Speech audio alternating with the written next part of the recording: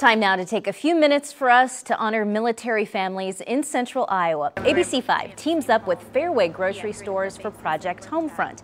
This month we selected the Wightman family from Winterset.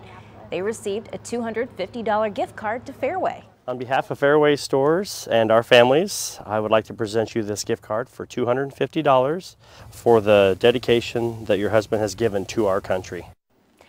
As a military family, the Wightmans have moved to several different communities, even countries, but they decided to make Winterset their home.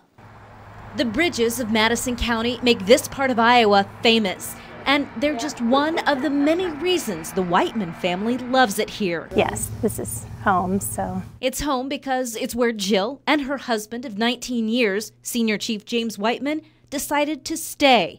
He served in the Navy for 23 years, been deployed eight times.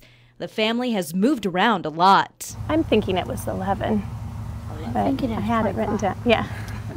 Feels like 25 maybe.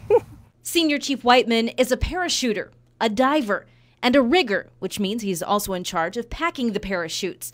He's part of the Navy's bomb squad. They are kind of in charge of the IEDs and the roadside bombs, so they um, take things apart basically if they find them and, and take them to a safer place to detonate them. The three kids know just how dangerous their dad's job is.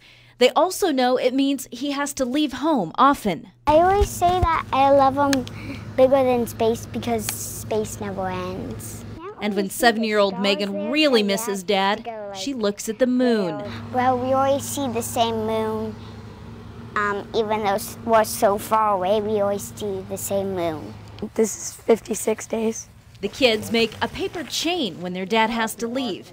Each link equals one day he'll be gone. Keeps your hopes up. Mm -hmm. Makes it go faster, it seems like. We take turns. Each person takes a different link off every day. Senior Chief Wightman is about to start his final job with the Navy before he retires.